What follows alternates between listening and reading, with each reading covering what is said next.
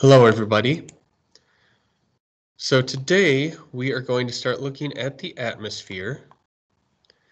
So in your Edmodo, you are going to go to the post that's importance of the atmosphere. There's a link for the reading. There is my email you can send um, your completed assignments to, and there are the questions that you need to complete. So the atmosphere is a mixture of gases that surrounds the planet. So it's also called air.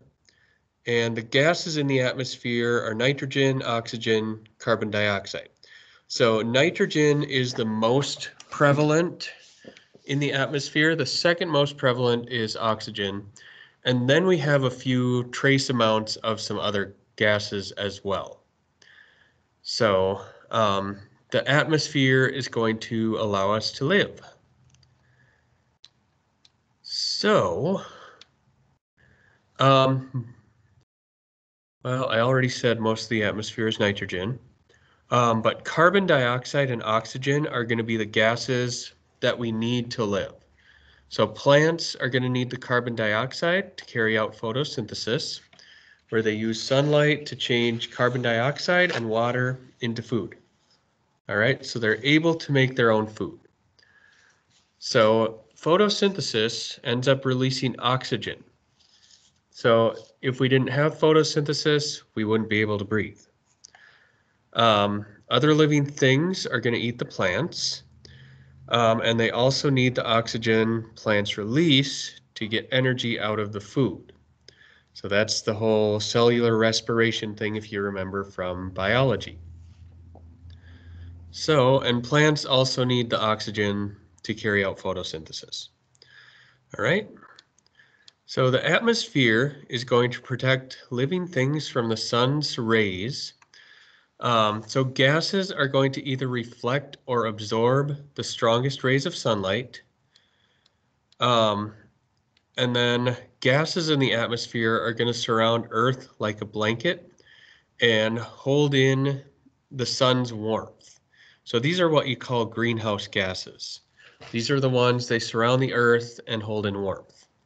So um, they keep some of the sun's heat out during the day and they hold the heat in during the night so it doesn't radiate out, in, radiate out into space.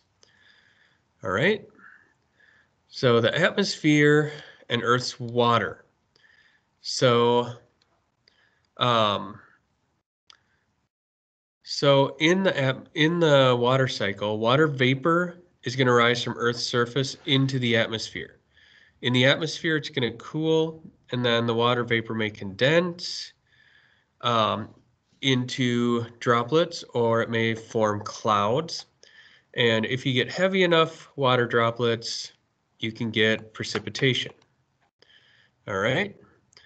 So this is how water kind of moves all around Earth, and um, the evaporation is how it gets into the atmosphere, right? Then it just completes the whole cycle. Without the atmosphere, we wouldn't have any weather. Um, and weather happens because the atmosphere is going to heat up more in certain places than others.